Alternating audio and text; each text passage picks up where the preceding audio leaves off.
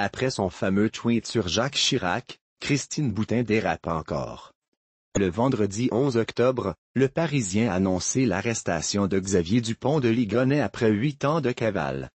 Le lendemain, Europe 1 a rétabli la vérité l'individu arrêté en Écosse n'est pas l'homme recherché. Face à cette fausse alerte, Christine Boutin s'en prend aux médias sur la toile. Trois ans après avoir annoncé la mort de Jacques Chirac par erreur. Christine Boutin n'y va pas de main morte. Le samedi 12 octobre. La présidente d'honneur du Parti chrétien-démocrate a tenu à réagir à l'actualité qui fait couler beaucoup d'encre ces dernières heures. La fausse arrestation de Xavier Dupont de Ligonnès à l'aéroport de Glasgow en Écosse. Sur Twitter, l'ancienne députée des Yvelines a posté ce message en taclant la presse. Xavier Dupont de Ligonnès Notre pays est à la dérive sur tous les plans. Pensons à sa famille. Que dire de cet emballement médiatique? Les médias étaient capables de raconter des histoires monstrueuses inimaginables? Elles ont permis aussi à certains, de déjarailler les catholiques. Par sa famille, Christine Boutin désigne probablement la mère et la sœur de Xavier Dupont de Ligonnès. Interrogé sur RTL, M. Stéphane Goldenstein, l'avocat de la mère et de l'une des sœurs du suspect, s'exprimait ainsi avant que la vérité ne soit rétablie. J'attends d'avoir la preuve de la confirmation qu'il s'agit bien de lui et d'évoquer ses clientes. Imaginez la douleur pour la mère et la sœur d'apprendre que non seulement il serait vivant mais qu'il aurait été arrêté. On ne prend pas de gants pour la famille des victimes. Toutefois, de nombreux internautes se sont insurgés face aux propos de Christine Boutin. Parmi eux, la journaliste Emma Defaux pensant à sa famille surtout à sa femme et ses enfants, en fait, a-t-elle tweeté. Fausse alerte. Pour rappel, le Parisien a annoncé que Xavier Dupont de Ligonnès, en cavale depuis huit ans après avoir tué sa femme et leurs quatre enfants à Nantes, avait été arrêté en Écosse, après avoir pris un avion en provenance de Paris-Charles de Gaulle. Puis, les empreintes digitales relevées à l'IME ont commencé à semer le doute elles ne correspondent pas à celles de l'homme recherché. Le lendemain de cette arrestation, le verdict est tombé l'homme qui voyageait avec un passeport délivré au nom de Guy n'est pas Xavier Dupont de Ligonnès. Comme l'a révélé Europe 1, les tests ADN réalisés par les Écossais sont négatifs.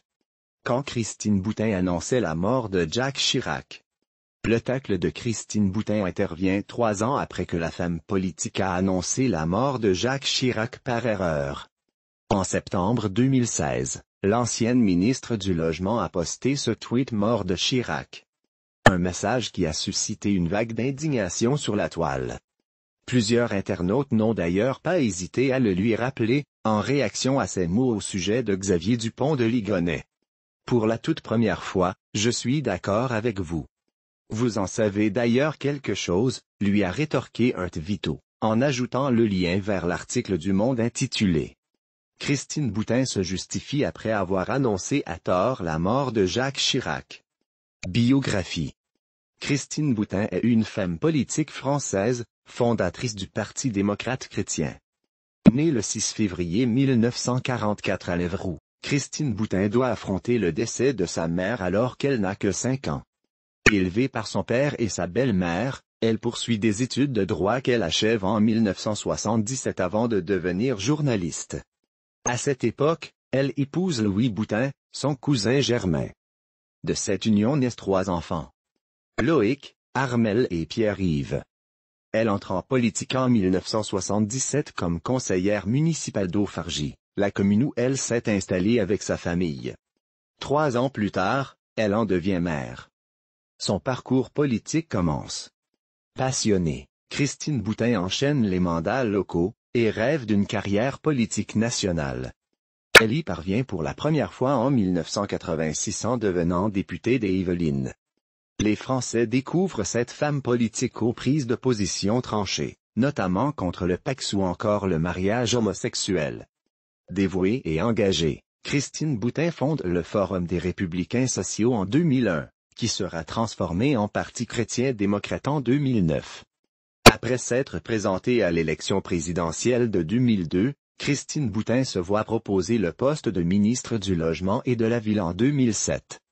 Évincée du gouvernement en 2009, Christine Boutin refuse la traditionnelle passation de pouvoir à son successeur Bino Esteparu. Et critique le comportement de François Fillon dans la presse.